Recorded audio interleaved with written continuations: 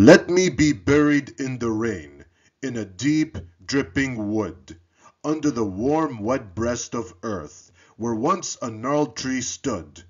And paint a picture on my tomb, with dirt and a piece of bough, Of a girl and a boy beneath a round, ripe moon,